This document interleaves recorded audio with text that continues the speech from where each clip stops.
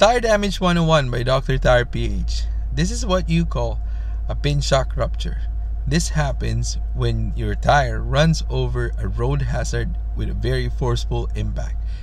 The edge of your wheel, which is called the rim flange, presses on the sidewall against the road hazard.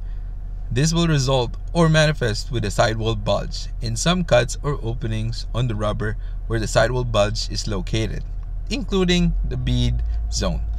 Now, if you look behind the sidewall bulge, inside the tire, you'd be able to find some possibly some cuts and openings on the inner liner and if you try to run your fingers in that area you will feel some creasing which is an indicator that you may have broken or have split or ruptured the cables inside your tire.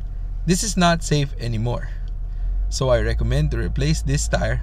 Do not ever attempt to have it repaired do not ever attempt to use it as a spare this can happen to any type of type of tire or any brand of pneumatic tires available in the market. This has nothing to do with the production date of the tire. It can happen to old ones or new tires.